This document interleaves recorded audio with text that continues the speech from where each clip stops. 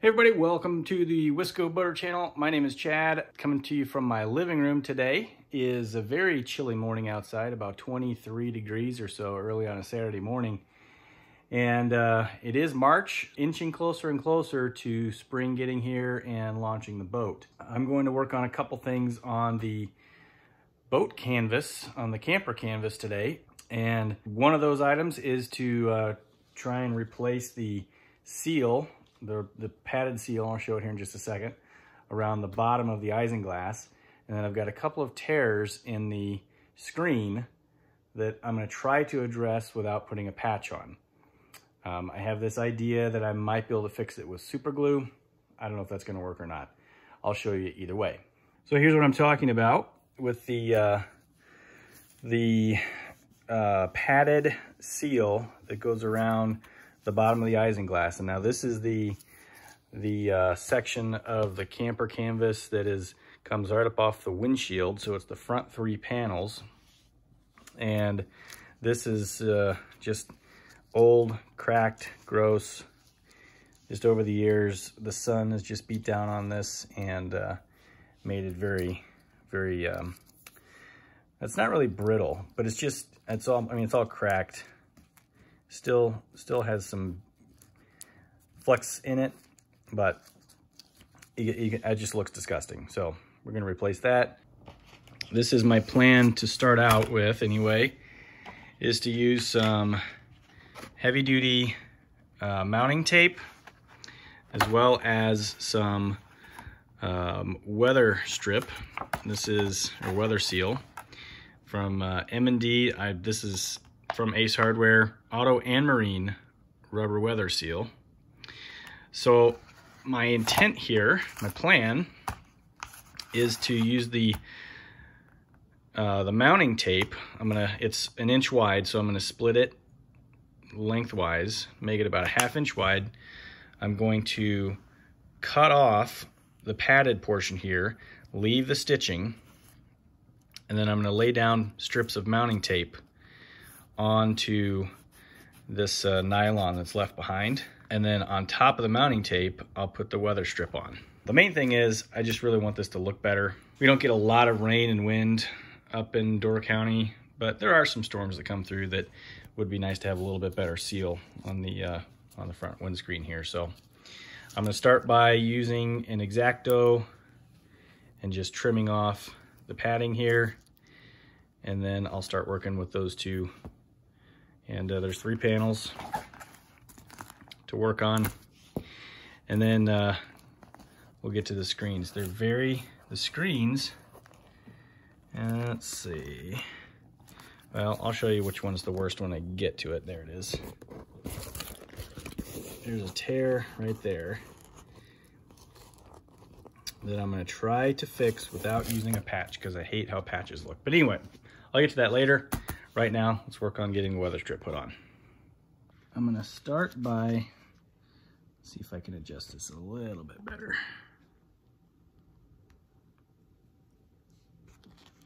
I'm gonna start by very carefully using the X-Acto and not, and you're not gonna be able to see this. All right, so I'm gonna take the X-Acto and it's a brand new blade, so it's very, very sharp. Cut there. And see, it almost it cut almost all the way through. The reason I gotta be really careful here is obviously I don't want to cut into the isinglass, which or the uh, nylon the canvas, which is right behind it.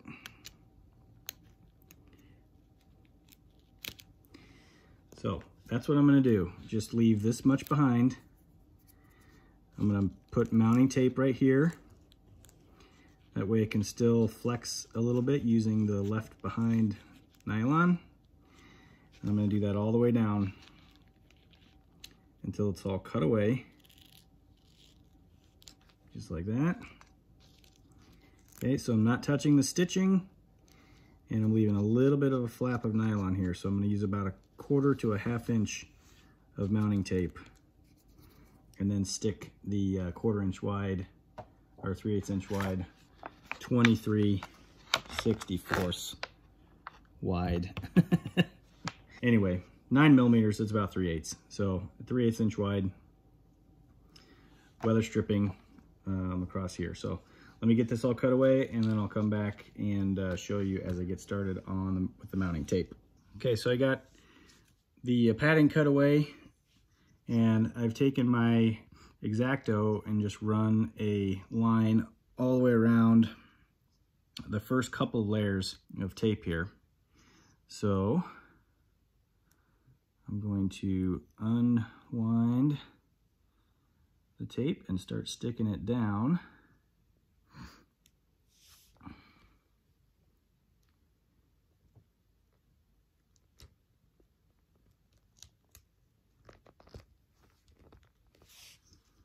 Just like this. And I'm going to try to push the nylon down as I go.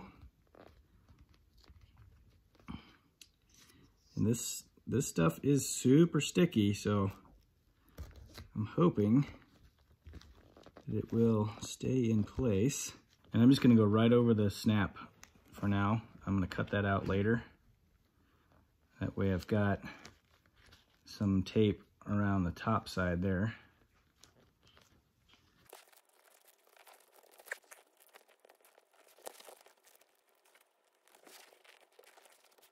And I'm gonna get to a point here where I'm gonna have to uh, cut, make another cut in the tape because I could only get about three layers down because even with a new blade, this stuff is so sticky. The blade just didn't want to go any further, any deeper, I should say. Oh, geez, yeah, this stuff is so sticky.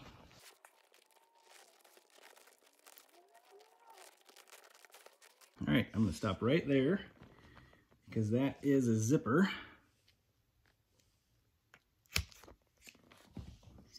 Okay, you can see the, the tape cut in half, worked great. So now I'm gonna cut around each one of these snaps. Again, being very, very careful not to go too deep because I don't even want to scratch the canvas. So I'm going to do that for each one of these snaps. And then I'll peel off the backing and then we'll put down some weather strip. Okay, I've got the piece of weather stripping cut to the correct length.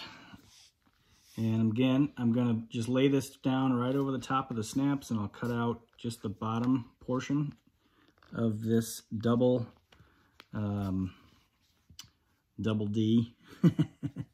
So stupid.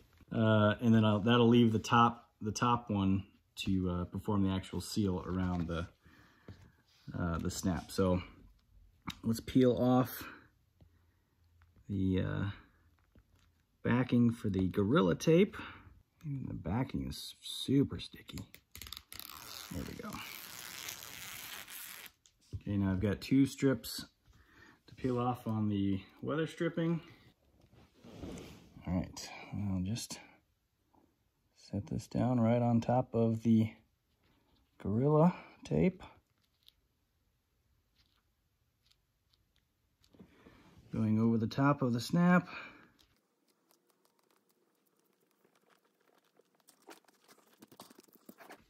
Make a cut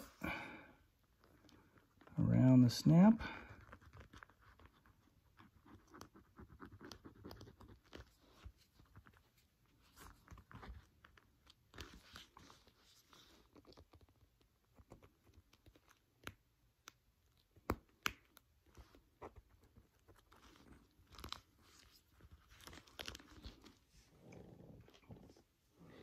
That way I will still be able to, I might cut a little bit of an angle here. And here. So that's how I will uh, clear the snaps. I'll still have, I'll be able to push down um, and compress that right into the uh, top of the windscreen get a nice seal all the way around. And it's it's on here solid. It's that Gorilla Tape is really a good good hold. So here's what that's gonna look like with the brand new seal on it. that's gonna that's gonna be great. It's gonna turn out awesome. I'll show the completed uh, project when I'm done with all three panels. Here's the finished product from one end to the other. I've got the uh, isinglass laid out on the couch here. I did leave some of these uh, older foam spots here just because I didn't want to get too far into the stitching. So everything came out really, really nice all the way across. Now, I do expect that at some point in transporting this in the next couple of months, that uh, some of this might come unstuck. If it does, stick it back down and uh, maybe use some spray adhesive or something if I need to. But uh, I think this will work really well overall. Now I'm going to try and address this screen issue right here. And then there's another one right here. So this center section doesn't have a screen that just gets rolled up when it's nice out. So two little uh, two little tears in the screen. Let's see what we can do to fix those. So here is my idea for trying to fix these little tiny tears in my screens. Now the screens are in really good shape overall, but at some point before I own the boat, this camper canvas I'm assuming probably wasn't used for an entire season, maybe more. And you can see right here, there is a bend in this in the screen. So somebody folded this up and it probably sat for a very long time with the screen just completely flattened. And that's created a weak spot in the uh, in the screen. So Got a couple little tears here, one right there. And then everything up, up here is pretty good. It's a tiny little one there. I don't know if I'll address that or not. So this is not an idea that I found somewhere. Um, I have never, no one's ever told me to try this. I woke up this morning and had the thought, hmm, I wonder if I can super glue some of this mesh back together. Um, it's not going to hurt anything to try it, so I thought, okay, let's give it a go.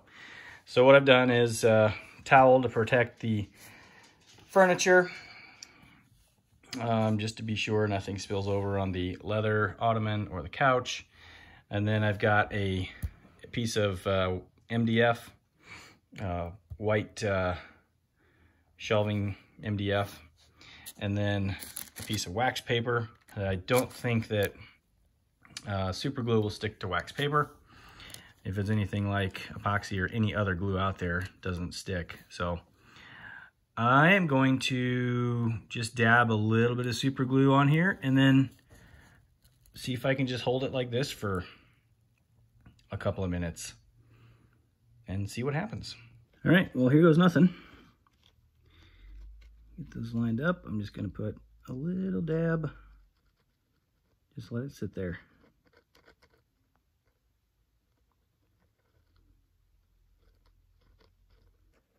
Now, super glue, I think sets up in about 60 seconds, but there isn't much surface area here, so don't know how long this will really take. We're not doing any clamping pressure between the two. I'm just using uh, just stretching out the, the screen enough to make it sit flush or flat on the wax paper. So I have no idea how long this is gonna take. Well, it's been uh, about five minutes. Uh, there is no indication that the super glue is going to dry without some sort of contact or pressure between pieces. So this is not an idea that works. It looks like uh, my best option is probably going to be just a little patch. So I'll have to run to the hardware store and see what I can find or maybe order something on Amazon, but that's kind of a bummer. I hate how patches look, but I just want to keep it from ripping further because the screen everywhere else is in very good condition. All right, so it's a couple days later. I'm going to take uh, a different approach on fixing these screens. I ordered some screen repair patches off of Amazon. And I think what I'm going to do is because these uh, tears are all in a straight line, there's no holes, they're just tears, I'm going to cut off just the uh, edge here that has the adhesive.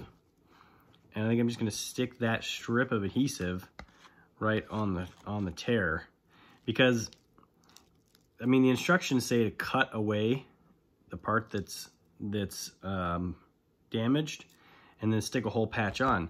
Well, if I do that, then I'm gonna have four sides of of screen with, with adhesive on it versus just having a single strip of adhesive. So let's see how this works. All right, we've got several different uh, sizes here. Got a bunch of them that are this big, which will work. And then several that are, uh, well, basically the same size screen area, just uh, cut into four sections. So I will set these aside for use later. Put those back in the package and just keep those on hand. If you follow the instructions, set this down what you would do is mark out this area where the replacement screen is going to go. Lift this up, cut that out, stick this back down, and then you've got new screen here, but you still have adhesive all the way around. So what I'm what I'm intending to do is remove the adhesive backing, stick it down right there, so all you're gonna see is a strip of screen with adhesive on it. And I'm doing this on the outside because if you do it on the uh, inside, the adhesive is gonna be exposed to the elements, rain, sun, that sort of thing. So I think doing it this way will make it last much longer. So I'm gonna cut this brand new screen patch into four sections. All right, so there's the cutout strip.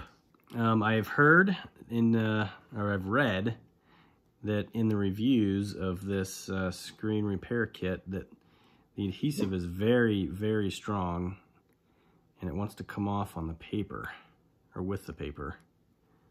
But hopefully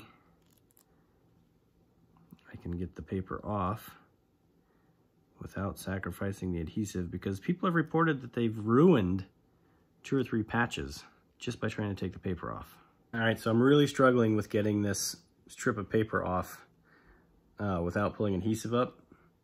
So what I've done is gone back to the screen, uh, the, gone back to the patch, and I was able to lift, uh, lift the tab up here with my finger uh, and peel this back.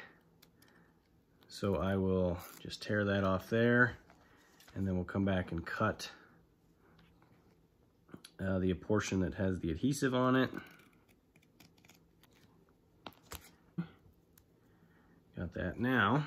Stretch the screen nice and taut and lay down the patch. Just like that. So now I know obviously you can see this, but in my opinion, a single strip is much better than seeing some very large screen patch like that. That's what this would have looked like had I used the entire patch. So, as I said before, the screens are in really, really good shape, except for where this was folded for quite some time. It just has some little tears in it. So, I would rather spend $8 on, on a repair patch and have this little strip showing that honestly, you're probably never even really gonna notice it if you walk up to the boat and look at it. To me, this is a good, worthwhile repair. I think this is gonna last a long time and I'm not gonna have to worry about uh, replacing these screens for quite some time. All right, here is the uh, finished product. I think this is gonna look much better when it's actually on the boat, but with the white background, you can obviously see it very easily. However, if I take the board away,